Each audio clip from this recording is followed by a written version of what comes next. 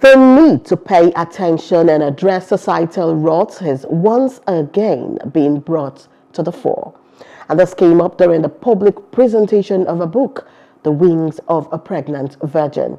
The author, Chris Aviomo, said the didactic book, which is all-encompassing, mirrors several issues affecting the society, including rape as well as ritual killings, romance, and politics. The book reviewer, Neka Onaga, who was visibly excited about the book, delves into the parts that resonate with her as it also deals with issues of young people who are fixated on marriage without enough knowledge about it. It's a book that has that's encompassing both um,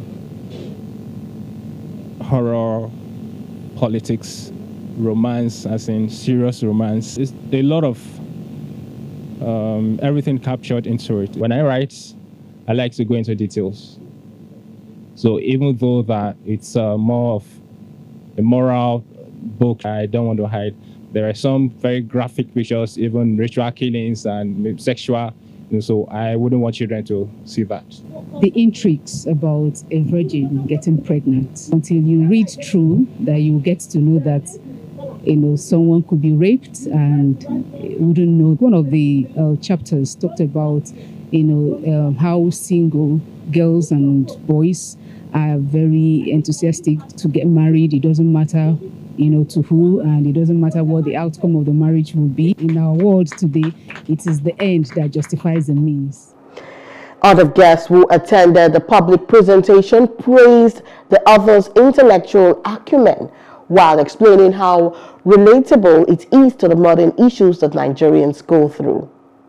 The book is uh, a very contemporary book that mirrors the ease of our society, our current society.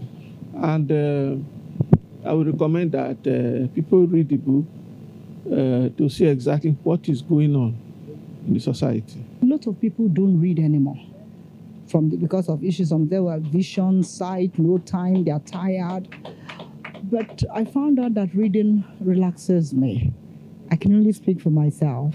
Even if it's just one page, you get some bullet key points, some bright moments, some aha moments from reading. So instead of just watching TV or movies end to end, it's always good to make sense to read because when you read, you actually improve the mind. And the older you get, reading helps your memory. Hello, hope you enjoyed the news. Please do subscribe to our YouTube channel and don't forget to hit the notification button so you get notified about fresh news updates.